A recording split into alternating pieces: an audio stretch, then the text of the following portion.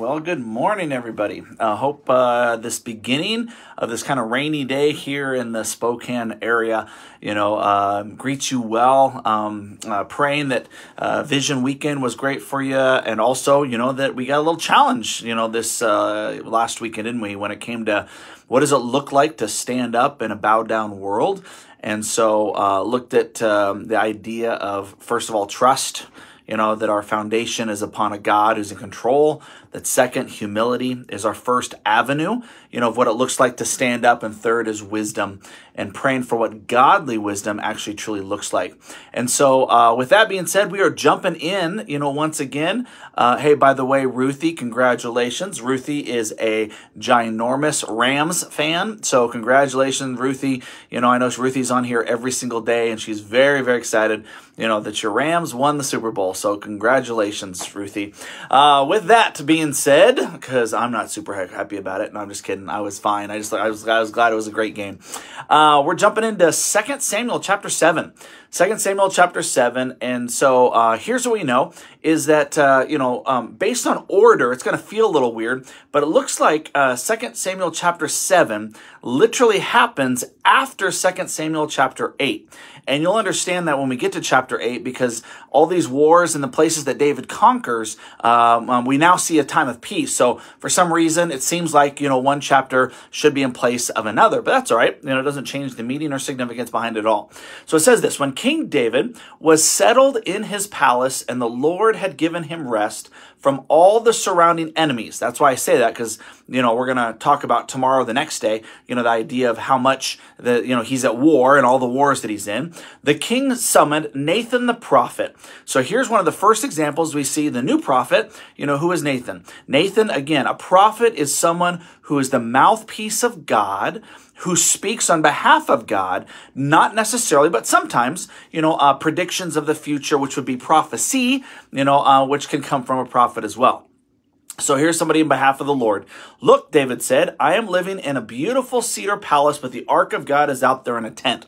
So what he's saying is, I've just realized, look at what I have and I know God hasn't asked me to do this, but I want to give back to God for what He's given to me. Why should I live in such an amazing place and God is living in this tabernacle. Um, you can read in other parts of the Bible exactly what the tabernacle was, where they went around in the desert and they were able to move the Ark of the Covenant and all the places, and they would just kind of be able to move it from, from place to place. And so he's thinking, wait a minute, if I'm the king and I get this, I know who really is on the throne. Let maybe let, let me then build something for him.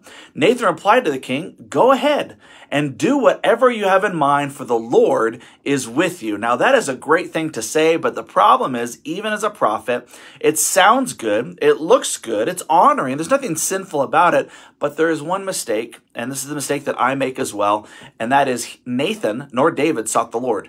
They didn't seek the Lord, even if this was something that the Lord wanted or desired, even if it was to honor the Lord. And so, but that same night, the Lord said to Nathan, Go and tell my servant David, this is what the Lord has declared. Are you the one to build a house for me to live in? I have never lived in a house. From the day I brought the Israelites out of Egypt until this very day, I have always moved from one place to another with a tent and a tabernacle as my dwelling. So first of all, he's saying, I'm not confined to a specific place or location, but when I was with you, when I was being represented as being with you, it was okay. I was moving from place to place. I never even asked for this. Yet no matter where I have gone with the Israelites, this is verse 7, I have never once complained to Israel's tribal leaders, the shepherds of my people. I've never asked them, why haven't you built me a beautiful cedar house? So now go and say to my servant David, this is what the Lord of heaven's armies has declared. I took you from tending sheep in the pasture and selected you to be the leader of my people, Israel. I have been with you wherever you have gone, and I have destroyed all your enemies before your eyes, which again, we'll talk about those enemies when we get to chapter 8. Now I will make your name as famous as anyone who has ever lived on the earth. And I will provide a homeland for my people Israel, planting them in a secure place, well, where they will, um, planting them in a secure uh, let's see. Uh, for some reason, I lost place. Uh, putting them in a secure place where they will never be disturbed. Evil nations won't oppress them as they've done in the past, starting from the time I appointed judges to rule my people Israel, and I will give you rest from all of your enemies. Now, why is God saying no? We don't know in this section, but the great part is other parts of the Bible reveal it. You know, and uh, God says no because David was a man of war, and God wants a man of peace to actually build his temple. Uh, we're going to see later on, you know, how God uh, allows David to actually gather all of the uh, supplies, even though he's not uh, commanded to build in order to prepare. His Solomon would, his son would be the one to actually build the temple. In First Chronicles chapter 22, verses 8 to 10 explains this. It says, But the word of the Lord came to me saying, You, David, have shed much blood and have made great wars. You shall not build a house for my name because you have shed much blood on the earth in my sight. A son shall be born to you who shall be a man of rest. He shall build a house for my name. So he's talking about, you know, again, Solomon. Um, uh, the other one thing I want to mention is also in First uh, Chronicles. Um, and so uh, God gave him a reason, you know, to be able to do it. And he just wanted to honor him. And then it says this, though. Here's what's really, really cool is that even though you're not going to build a house for me, so I mean, I want you to just really feel the graciousness of God. David's heart is to do something for God, is to build something on behalf of God, is to proclaim his name above all. And God is so gracious, he flips it around and says, I'm going to give you some things. You know, I need you to understand how much, you know, uh, uh, I'm going to work in you and through you.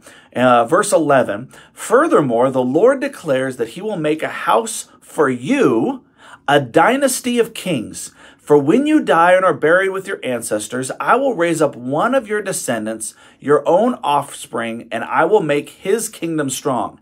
He is the one who will build a house, a temple for my name, and I will secure his royal throne forever. I will be his father, and he will be my son. If he sins, I will correct and discipline him with the rod like any father would do. But my favor will not be taken from him, as I took it from Saul, which I removed from your sight. Your house and your kingdom will continue before me for all time, and your throne will be secure forever. So Nathan went back to David and told him everything that the Lord said in this vision. Now, what he's saying there is uh because uh, we know that over time, the literal kingdom of Israel gets taken out of David's, you know, descendants. Uh, if you're in our series, even right now, you know, you're seeing that there's different descendants as we get to the book of Daniel that are that are on the throne that are not from David's line. But here's what we do know: the line of David would lead to the birth of Jesus. You know, and so understand this. This is why we read in Isaiah chapter 6, verse 7 For a child is born to us, a son is given to us. The government will rest on his shoulders, and he will be called Wonderful Counselor, Mighty God, Everlasting Father, Prince of Peace. His government and his peace will never end. He will rule with fairness and justice. Notice this from the throne of his ancestor David for all eternity. The passionate commitment of the Lord of heaven's armies will make this happen. or you might remember when the angel, you know, came and visited Mary. You will conceive, and this is Luke chapter 1, 31, and give birth to a son, and you will name him Jesus. He will be very great and will be called the Son of the Most High. The Lord God will give him the throne of his ancestor David, and he will reign over Israel forever. His kingdom will never end. So God's promise and fulfillment through the line of David is that David's kingdom would never end. And it's never going to end because it's through the line and lineage of Jesus that uh, he is born and then he gives to us as well. So that's really, really kind of cool to be able, you know, to see, you know, um, in that circumstance and at that time. And then it says this, then King David went in and sat before the Lord and he prayed, who am I? Sovereign Lord, and what is my family that you have brought me thus far? And now, sovereign Lord, in addition to everything else, you speak of giving your servant a lasting dynasty. Do you deal with everyone this way, O sovereign Lord? Nope. Uh, what more can I say to you? You know what your servant is really like, sovereign Lord, because of your promise and according to your will, you have done all these great things and have made them known to your servant. How great you are, O sovereign Lord. There is no one like you. You know, a sovereign just you know, again means in ultimate control. He knows all, in all, and through all. We have never even heard of another God like you. What other nation on earth is like your people Israel? What other nation, O God, have you redeemed from slavery to be your own people? That would be us later on in history. You have made a great name for yourself when you redeemed your people from Egypt or redeemed us from our sins.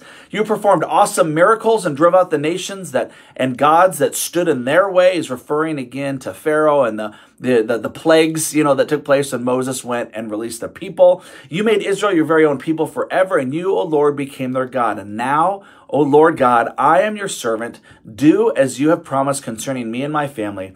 Confirm it as a promise that will last forever. And may your name be honored forever, so that everyone will say, The Lord of heaven's armies is God over Israel. And may the house of your servant David continue before you forever, which it will through the name of Jesus.